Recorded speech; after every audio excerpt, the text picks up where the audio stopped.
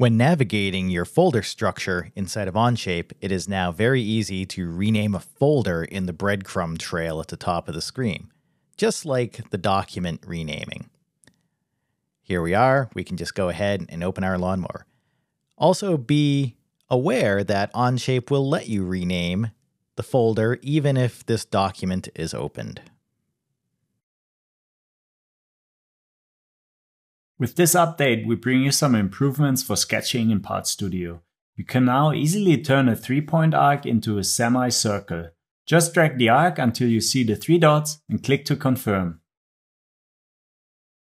We have also improved the elliptical arc and you can quickly snap the start and end points to the quadrant points now.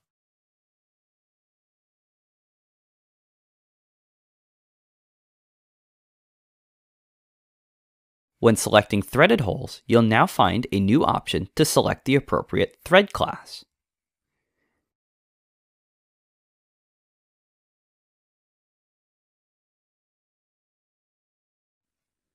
As you might expect, this thread class is automatically displayed in the hole callout on the drawing. New in Onshape Simulation is the ability to have new loads automatically be suppressed when adding them to a study. I am adding a new load to simulation 1, but I already have a simulation 2. Simulation 2 is not automatically getting the new load condition. You can obviously set it here with the check mark if you wish. Previously, auxiliary views could only be created by selecting an edge. Then we create a view normal to that linear edge. This update brings the ability to create a view that looks directly down an edge,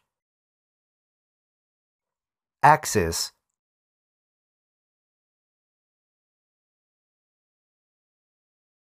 or sketched line.